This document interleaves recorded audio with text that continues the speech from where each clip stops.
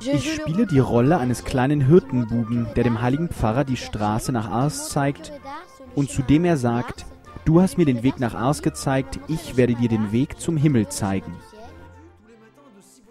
Mit dieser Szene beginnt ein Schauspiel über den Pfarrer von Ars, das vom päpstlichen französischen Seminar in Rom zum Anlass des Priesterjahres aufgeführt wird.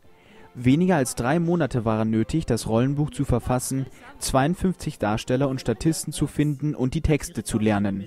Ein wertvolles Stück mit einem wahrhaft pastoralen Anliegen, wie einer der Organisatoren, Frédéric Fagot, erklärt. Ich wünsche mir, dass dieses Stück vor allen Dingen ein Gebet ist, eine Meditation über das Priestertum, über das Leben. Aber über das Leben aller, nicht nur des Priesters. Und dass man über diese Figur des Pfarrers von Ars das Wesentliche wiederfinden kann. Die beiden Aufführungen, die in der Kirche des heiligen Ludwig von Frankreich in Rom stattfinden, zeigen die Wichtigkeit des Gebetes und den apostolischen Eifer im Leben des heiligen Johannes Maria Vianney. Besonders Stanislas del Camp, Seminarist der Diözese Rouen, ragt heraus, der die Rolle des Pfarrers von Ars spielt. Ein sehr schöner Gesichtspunkt des Pfarrers von Ars ist, wie sehr er gar nichts Außerordentliches hatte.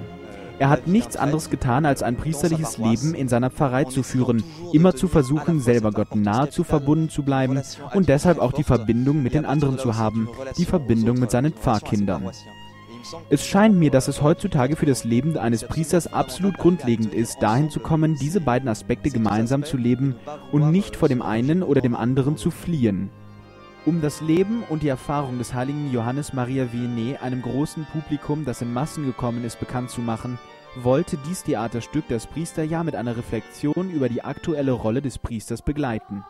Einige Klangbeiträge mit der Stimme Benedikts XVI. vertiefen diese Aufführung, die dem Heiligen gewidmet ist, der bis kommenden Juni zum Patron der Priester auf der ganzen Welt erklärt wurde. Stanislas del Camp, der in der Rolle des Pfarrers von Ars geschlüpft ist, hilft, von dessen Sorge um die Seelen, die in ihm brannte, berührt zu sein und von Anfang an eine Vorliebe für diese Akte der Liebe zu entwickeln. Ich liebe dich, mein Gott, und mein einziger Wunsch ist, dich bis zum letzten Atemzug meines Lebens zu lieben. Heiliger Johannes Maria Vianney